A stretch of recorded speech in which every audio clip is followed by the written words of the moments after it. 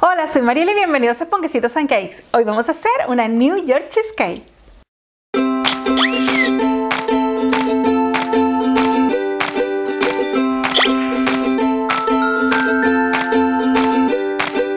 La New York Cheesecake es un tipo de postre clásico de Estados Unidos. Sin embargo, es tan popular, tan popular que la puedes encontrar en cualquier parte a nivel mundial. Suscríbete al canal y activa la campana para que recibas la notificación de todos mis vídeos. Encontrarás muchísimas personas que dicen que esta es la auténtica receta de la New York Cheesecake, pero la verdad es que existen tantas recetas y tantas formas de hacerla que no sabemos realmente cuál es la auténtica, pero la receta que les enseño hoy de la New York Cheesecake es la que a mí más me gusta. Así que, vamos con la receta. New York Cheesecake. La cantidad de ingredientes, al igual que las respuestas a las preguntas frecuentes, la encuentras en el blog de Ponquecitos and Cakes. Te dejan un link en el cuadro de descripción de este vídeo. Comenzamos preparando nuestro molde desmontable. Si usas uno tradicional, coloca el spray desmoldante o mantequilla y vístelo con papel vegetal para hornear. Si usas uno de silicona, te ahorras esta parte. Ahora le cerramos muy bien el fondo con papel de aluminio o de hornear. Para realizar esta receta puedes utilizar galleta tipo María o también puedes utilizar la que es tipo digestiva. Para estas recetas debemos triturar nuestras galletas, así que puedes utilizar una licuadora de vaso o también puedes utilizar un procesador de alimentos. Y si no tienes ninguno de los dos, colócalo dentro de una bolsa de congelar y con el rodillo aplasta bien estas galletas hasta que esté completamente pulverizada. Incorporamos las galletas en un bol junto con la mantequilla derretida. Mezclamos muy bien hasta que esté todo bien distribuido. Vertemos en nuestro molde y la distribuimos por toda la base. Con la ayuda de una taza de fondo plano, hacemos presión sobre la galleta y de esta forma nos quedará bien compacta, adherida a las paredes y al fondo. Precalentamos nuestro horno a 170 grados centígrados y colocamos nuestra base solo 10 minutos. Una vez lista, la dejamos enfriar sobre una rejilla mientras realizamos el relleno. En un bol colocamos el queso crema cortado en cuadritos. Es súper importante que el queso crema esté a temperatura ambiente para que no se formen grumos.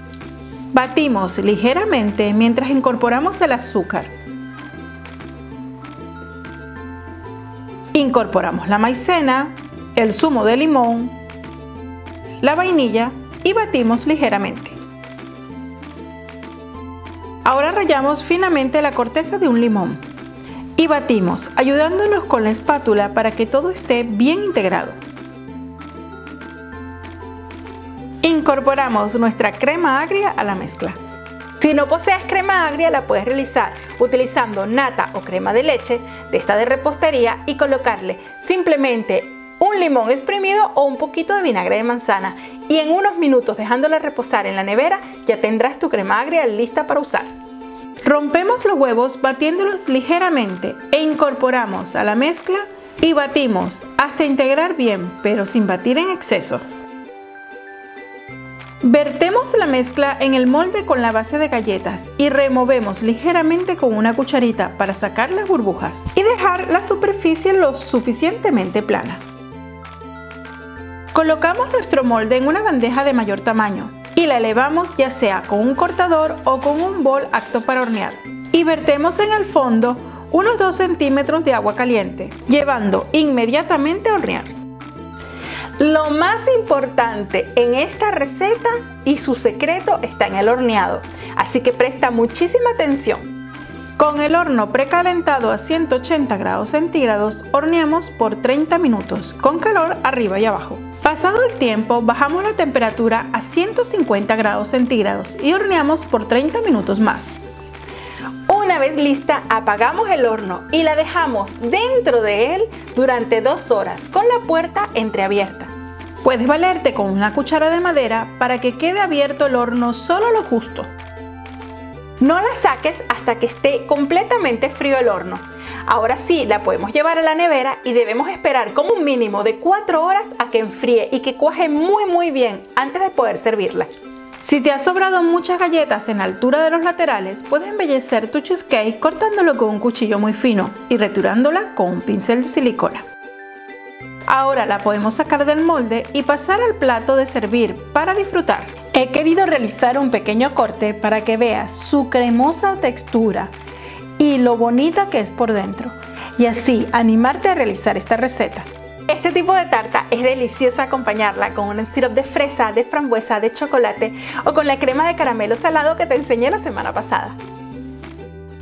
Cheesecake se mantiene perfecta durante una semana, eso sí, debe estar siempre refrigerada. Es muy importante cuando la guardes en la nevera colocarla con un bol con tapa o forrada con papel film para que el frío de la nevera no la seque.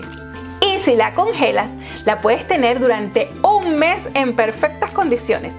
Para disfrutarla deberás pasarla del congelador a la nevera y dejarla allí por un mínimo de 12 horas para que se descongele poco a poco y no pierda su textura. La receta de hoy y si es así recuerda darle al me gusta y compartir con tus amigos. Suscríbete al canal y activa la campana para que recibas la notificación de todos mis vídeos. Nos vemos dentro de nada con otra receta.